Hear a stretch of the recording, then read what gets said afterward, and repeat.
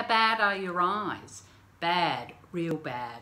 I once mistook a stranger's two-year-old child for a small, adorable dog. Oh, hi, I'm Stella, and welcome to 30 Books.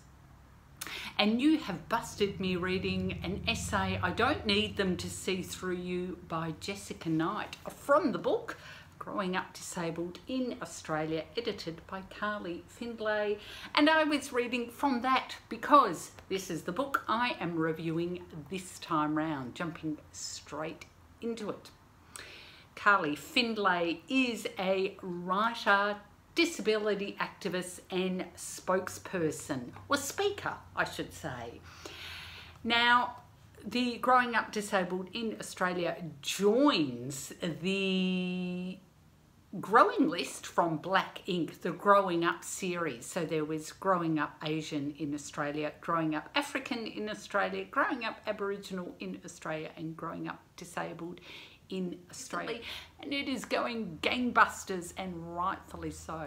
This is an anthology of around 40 writers and their experiences of disability or growing up with disability, although some people acquired a disability later in life. So why, I?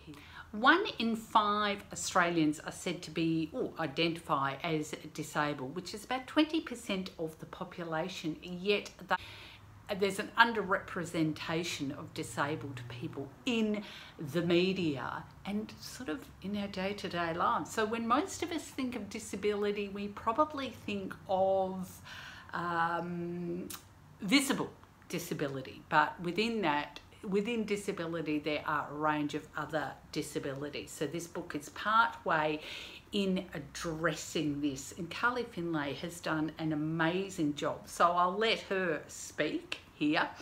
This anthology shows the diversity of disability, not just in terms of impairments, but also experiences.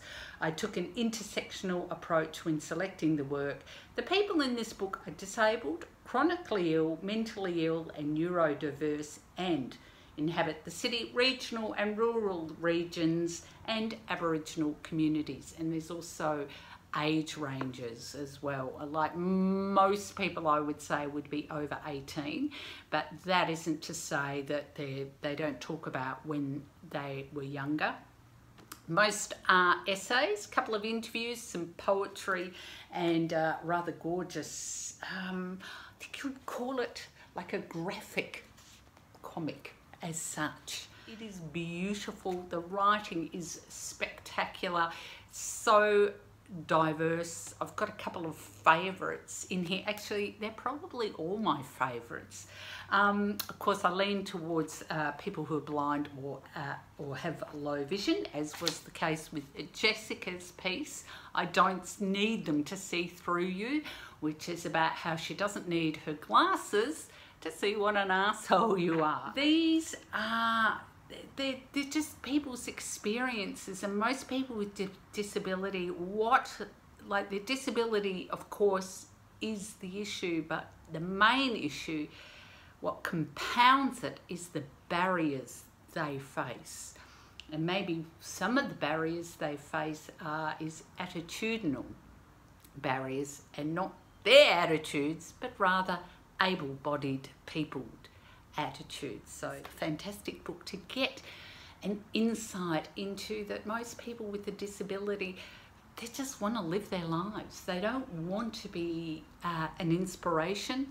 They don't want to be told that they are brave merely for going to the shop and living their lives. They want access to everything that we, that able-bodied people have access to. There's a beautiful essay in here by Emma Di Bernardo, Umbrellas in the Rain. Now this particular essay I think is, oh, it's such a treasure in that we have been allowed into it. So to me this essay very much is from one disabled person to another. My advice to young people who are growing up disabled is to get ready for resilience. I grew up for the most part as an able-bodied person. Somewhere around the age of 15, I started to experience severe period pain. More than a decade later, I'm a woman in her late 20s with a condition and a list of unexplained symptoms longer than the scrolling text at the start of a Star Wars movie. As a maladjusted youth, I had to forego the rites of passage, parties, partners and periods. So it's those really small things and a lot of young people talk about they can't go to parties they can't just do the ordinary things this book is also a celebration of their disability you know they're, they're, they're, people are just living their lives and often getting the diagnosis especially with neurodiverse people is in a way liberating of course, there are barriers and things that may come up along the way, but if you have a cheer squad or support crew of even just one other person, then take advantage of it and give yourself the opportunity to surprise yourself. So why not be part of that cheer squad? Go out and get Growing Up Disabled in Australia, edited by Carly Findlay, out by Black Inc. This was a review copy.